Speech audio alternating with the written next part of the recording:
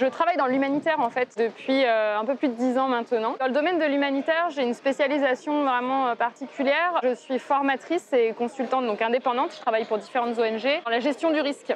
Donc euh, ça va de choses comme voilà des catastrophes naturelles, aux accidents de la route, à des choses voilà un peu plus traumatisantes parfois. Donc il y a pas mal de côtés psychologiques aussi, que ce soit du kidnapping ou d'autres d'autres incidents. J'ai développé, j'ai lancé il y, a, il y a trois ans une association qui s'appelle Get Ready Préparation au voyage. On est un vivier de formateurs. Bah, J'interviens dedans et puis on va avoir quelqu'un qui travaille sur l'autonomie en nature, quelqu'un sur la mécanique auto, moto, vélo. On va avoir quelqu'un qui travaille aussi sur toute la santé, la médecine tropicale notamment. Et on va proposer euh, des formations, des stages, euh, des conférences, des webinaires pour outiller un peu les, les voyageurs qui veulent partir justement euh, sur des voyages un peu plus engagés. Donc que ce soit sportif, que ce soit des expéditions hein, au sens très préparé, ou qui veulent partir à l'aventure avec un minimum de préparation, mais la bonne dose pour garder justement euh, le côté imprévu et découverte, mais éviter euh, des situations un peu complexes parce qu'il y a quand même des pays où si on part à l'aventure, on a des bonnes surprises, mais il peut y avoir des surprises un peu plus compliquées à gérer.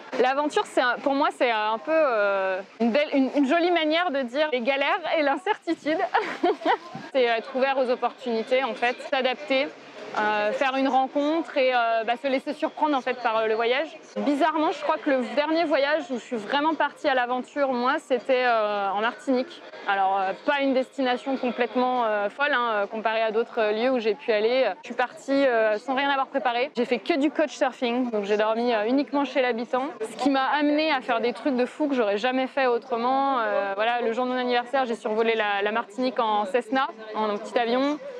Je suis partie avec un pêcheur en mer relever les casiers euh, à 4 h du matin un autre jour. Pour moi, l'engagement, ça a différents termes en fait. que c'est euh, engagé physiquement. Euh, tu vois, j'ai un ami qui a traversé l'Australie, une partie de l'Australie en tout cas, en courant. ouais, ça c'est engagé quoi. Par contre, c'était très préparé. Donc c'était pas, à mon sens, une aventure. Ça, c'est plutôt l'expé pour moi. Et l'aventure au sens engagement, aventurier, aventureux, c'est ça va être ouais quand t'as pas préparé le truc quoi. Pars à l'aventure mais tu pars dans des conditions difficiles. Et l'engagement pour moi c'est plus ça, c'est l'engagement, la difficulté.